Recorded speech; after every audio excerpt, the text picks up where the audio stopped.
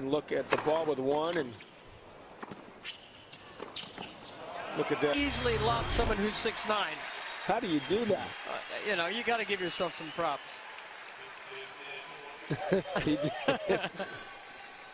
What a player. Come on, smile, Roger.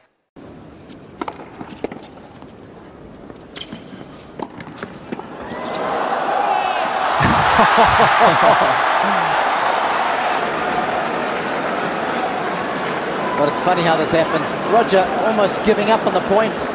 Look at Andy.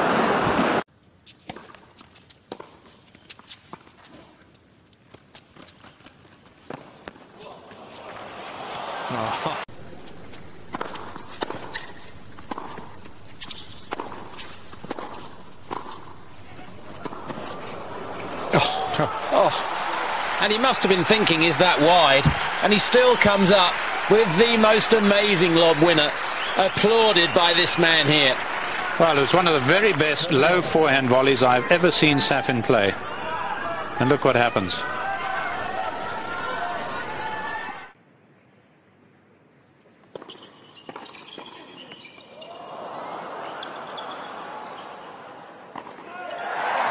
Freakish reactions from Federer, getting his team out of trouble.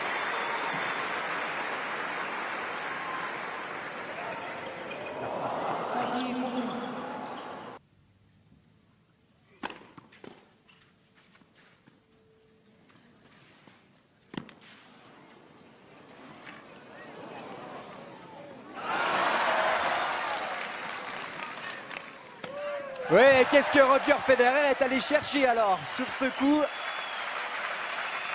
Belle course du ballon et quel lob de défense. C'est magnifique.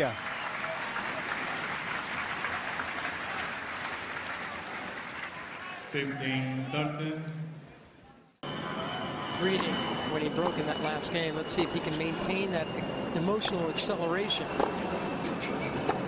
Serve out this set.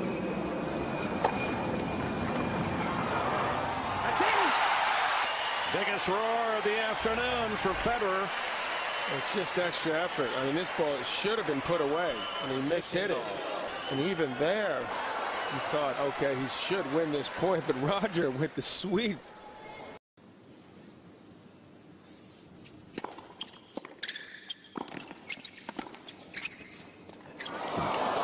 Beautifully flighted lob.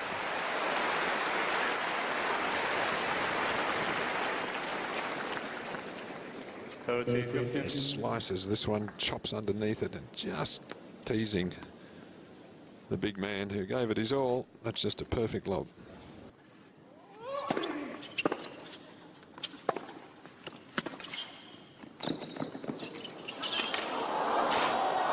incroyable. Oh non, mais quel Incroyable. coup Elle était convaincue qu'elle ne reviendrait pas cette euh, volée amortie une fois de plus. C'est exceptionnel. Glissade et lobe rétro. Oh là là. Il nous sort des coups de tennis, Roger Federer. La li- raquette, ouais, hein. limite de doubler cette balle. Et déjà la remise qu'il avait réussi à glisser dans les pieds de Murray était superbe.